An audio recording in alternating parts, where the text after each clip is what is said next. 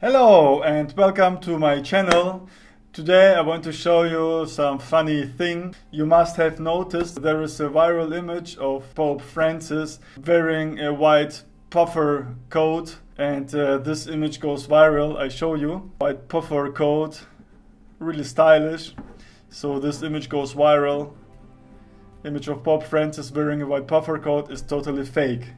That was made with AI and Midjourney. And that is that what I want to show you today how to make an image like this. But first of all my glasses. Okay let's start. So we open a Midjourney site. If you want to know how to sign in and register click on this video here. So the first thing you write imagine Pope Francis. White jacket and now we get a jacket with this image on the jacket, but it's not what I wanted. So we're going back to the Forbes website and copy image of Pope Francis wearing a white puffer coat and put it to Midjourney and enter. So that's ready and now yeah, it's looking really good, especially this one here. It's also realistic. But we want the photo, it's a sunny day and uh, he's looking on the right side. So let's do it again. Image of Pope Francis wearing a white puffer coat on a sunny day. Image of Pope Francis looking on the right side and wearing a white puffer coat on a sunny day. Okay, now we get this here. And this is not what I wanted.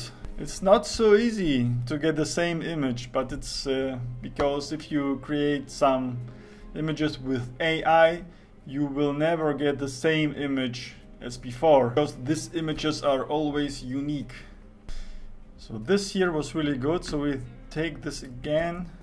Image of a princess wearing a white puffer coat on the streets long puffer coat. Okay, it's ready now. Let's take a look around. Pope Francis wearing a large white puffer coat. For example, this one. You know, when we find the real motif on the streets, it's looking really cool now. There's no crucifix and but it does not look really good. News photo, Pope Francis wearing a Balenciaga puffer coat, daytime, aspect ratio and version 5. Yes, look at this. This is really similar. Especially this photo, but it's a black background, or like this here. Great.